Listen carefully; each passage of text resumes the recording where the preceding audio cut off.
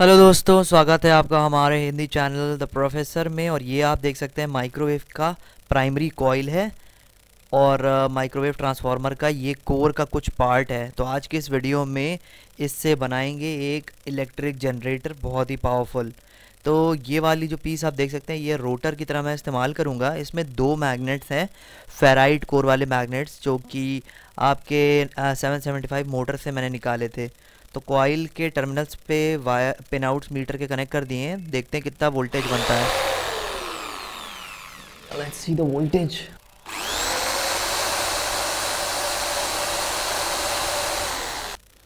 आप देख सकते हैं कि सिर्फ़ 1.14 वोल्ट्स मैक्सिमम बन पाया था। बाकी का क्योंकि इसमें हमने दो ही मैग्नेट्स का इस्तेमाल किया था।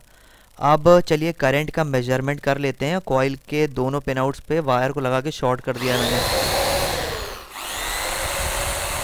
ज़ीरो करंट देख सकते हैं करंट एकदम ज़ीरो है, दो पोल्स हैं फेराइट कोर अब इसी चीज़ के ऊपर मैंने कोर को लगाया है।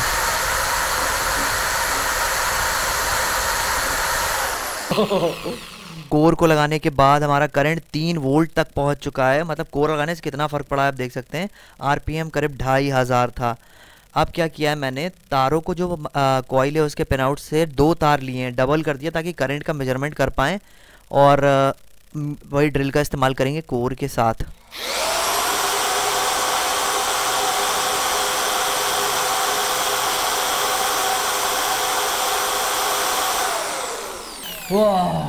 यहाँ पे आप देख सकते हैं कि करंट हमारा थोड़ा बहुत आया था जो कि अराउंड 3.45 एम्पियर्स था।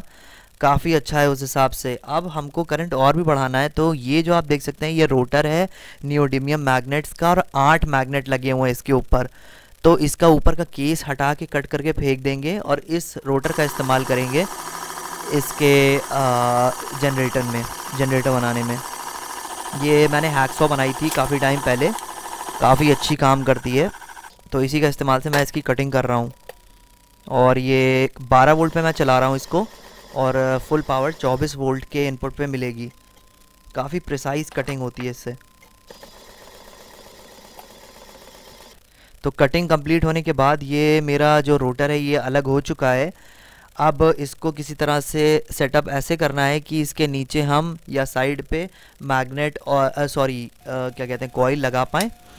अब ये देख सकते हैं, एक बेयरिंग है और उसका होल्डर है। उसको दोनों को उठा के आपस में मैंने टाइट कर दिया है। और ये एक पाइप का छोटा सा कवर है। उस कवर को मैंने इस पर लगा के थोड़ा सा लूज़ करने के लिए हीट कर दिया और हैमरिंग करके फिट कर रहा हूँ। ये चला गया आ, रोटर के शाफ्ट में जो मैग्नेटिक रोटर है उसके शाफ्ट में। अब दोनों तरफ़ से एल आ, एल क्लैंप लगा के मैं इसको वुडन बोर्ड पे टाइट कर दूँगा।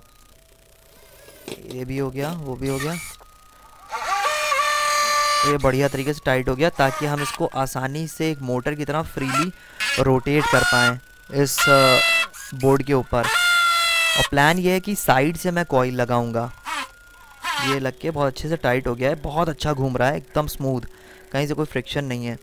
ये आपका एल्यूमिनियम पीस है जिसपे मैं कॉइल ऐसे लगाऊँगा और जिप टाई से इसको टाइट कर दूँगा।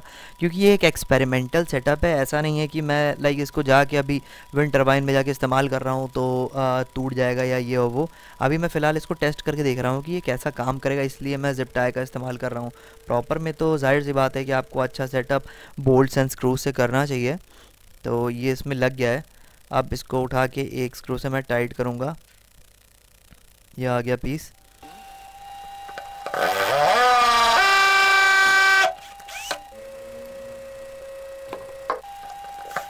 अच्छा ये जो कोर है, ये प्राइमरी कोर है। सेकेंडरी हाई वोल्टेज की जो कोर थी, वो मैं पहले ही काट चुका था।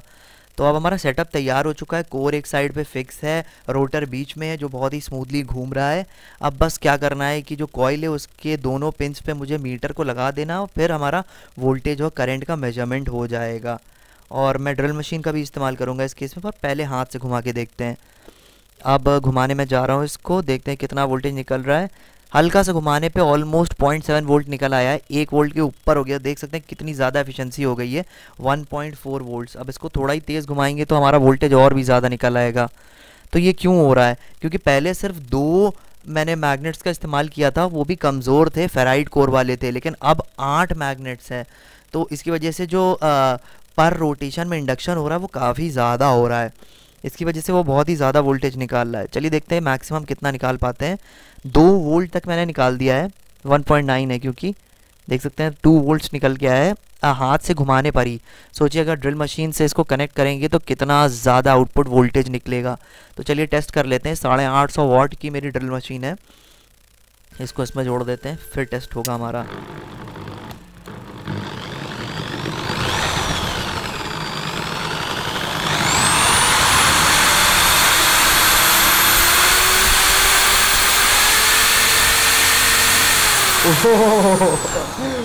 देख सकते हैं, करीब करीब हमारा तेरह पॉइंट पाँच वोल्ट निकल गया है नियोडिमियम मैग्नेट का इस्तेमाल करके। ज़्यादा पोल से ज़ाहिर सी बात है, जल्दी वोल्टेज इंड्यूस होता है। अब यही चीज़ हमें करंट टेस्ट पे करनी है current measurement two amperes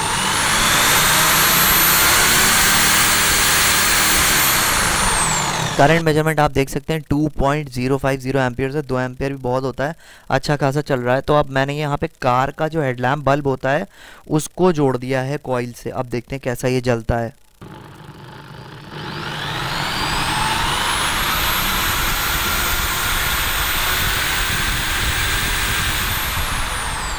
फिर भी ठीक ठाक जल रहा है।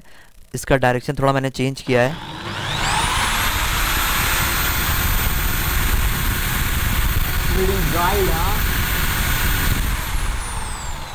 तो अब जो है, क्या प्लान करता हूँ मैं? कोर को जो ट्रांसफार्मर का जो कोर था माइक्रोवेव के, उसको थोड़ा फिट करके देख रहा हूँ। उस कॉइल के अंदर जो माइक्रोवेव का कॉइल मैंने यूज़ किया है बिजली बनाने के लिए, उसमें ये कोर फिक्स करूँगा।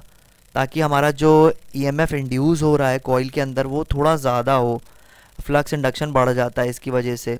तो मैंने किसी तरह से उसको फिट किया है। हालाँकि जो नियोडिमियम मैग्नेट है वो बहुत ही ज़्यादा ताकत से कोर को अपनी तरफ़ खींच रहे हैं तो बहुत ही मुश्किल था। और अब यहाँ पे थोड़ी सी लॉकिंग भी आ गई है लाइक वो लॉक कर रहा है कोर अपनी तरफ़ मैग्नेट्स को।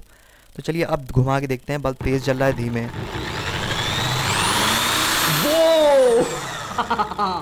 देख सकते हैं कि इस बार बल्ब कितना ज़्यादा तेज़ जला है।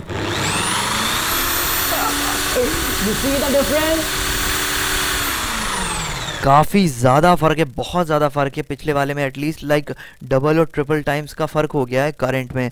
तो देख सकते हैं कि कोर का कितना ज़्यादा फ़र्क पड़ता है जब आप कॉइल के अंदर लगाएँ और अगर बिना कोर के इस्तेमाल करेंगे तो करंट का इंडक्शन ज़ाहिर सी बात है बहुत ही कम होगा। इस वजह से कोर और ऊपर से अगर कोर आपका पूरा इनक्लोज है, जैसे इसमें अभी मैं हाफ़ कोर का इस्तेमाल कर रहा था, इस वजह से ऐसा था। तो चलिए अब इसका पूरा वोल्टेज नाप लेते हैं कि कितना वोल्टेज जनरेट हो पा रहा है। ड्रिल मशीन को लगा के। इससे हम लोगों ने ये देखा कि करीब 3.2 वोल्ट्स हाथ से घुमाने पे, चार वोल्ट तक निकल गया हाथ से घुमाने पे। काफ़ी ज़्यादा वोल्टेज था। अब ड्रिल मशीन लगाते हैं, देखते हैं मैक्सिमम कितना वोल्टेज जा रहा है।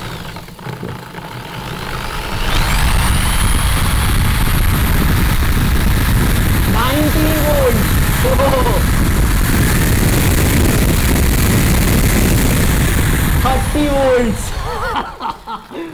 जैसा कि आप देख सकते हैं कि 2500 आरपीएम पे इसने 30 वोल्ट निकाल दिया था, जो कि काफ़ी ज़्यादा अच्छा है इस जनरेटर के हिसाब से। एक पोल का जनरेटर है और यहाँ पे आपको बता दूँ मैं कि करीब चार कॉइल लग सकते हैं।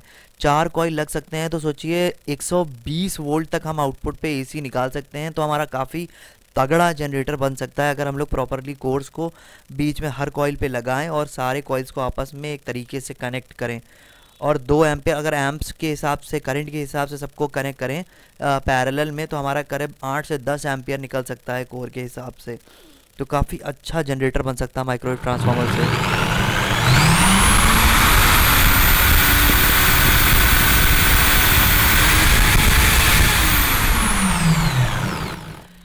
तो आपने देखा कि करीब 2.75 पॉइंट निकला है करंट मेज़रमेंट के टाइम पे, लेकिन हमारा जब ओपन सर्किट टेस्ट हुआ था तो उसमें 3 एम्पियर्स के आसपास करंट निकला था।